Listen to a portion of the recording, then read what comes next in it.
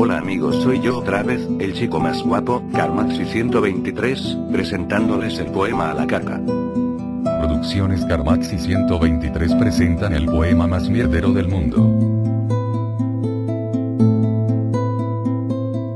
De los placeres sin pecar, el más dulce es el cagar, con un periódico extendido y un cigarrillo encendido queda el culo complacido y la mierda en su lugar. Cagar es un placer. De cagar nadie se escapa, caga el rey, caga el papa, caga el buey, caga la vaca, y hasta la señorita más guapa hace sus bolitas de caca. Viene el perro y lo huele, viene el gato y lo tapa. Total, en este mundo de caca de cagar nadie se escapa. Qué triste es amar sin ser amado, pero más triste es cagar sin haber almorzado. Hay cacas blancas por hepatitis, las hay blandas por gastritis, cualquiera que sea la causa que siempre te alcanza, aprieta las piernas duro que cuando el trozo es seguro, aunque esté bien fruncido el culo será por lo menos, pedo seguro. No hay placer más exquisito que cagar bien despacito. El baño no es tobogán ni tampoco sub y baja. El baño es para cagar y no para hacerse la paja. Los escritores de baño son poetas de ocasión que buscan entre la mierda su fuente de inspiración.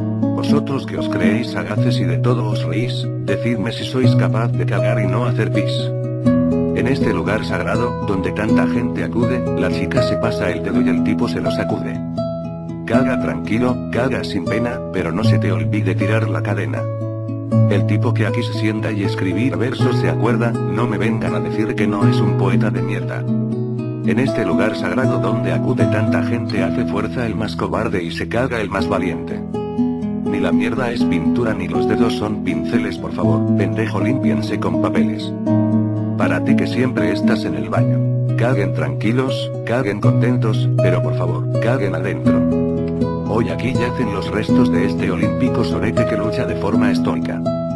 Para salir del ojete. Estoy sentado en cuclillas en este maldito hoyo.